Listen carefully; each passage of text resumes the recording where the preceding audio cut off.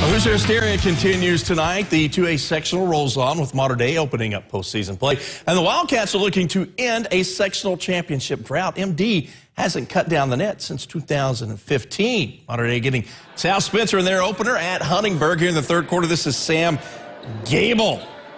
Hits the triple from the far corner. Mater Dei would be up 45 to 32. Here's South Spencer's Matthew Smith. It's a tough jumper in the lane. The Rebels down by 20 near the end of the third. Fourth quarter, and Jace Kelly trying to keep his team in this one. The drive and the pretty layup right there. He had 25. Rebels still down by 20. Mater Dei was just too much tonight. Here's Logan Carter, the big fella, kissing it off the glass. He led MD with 19.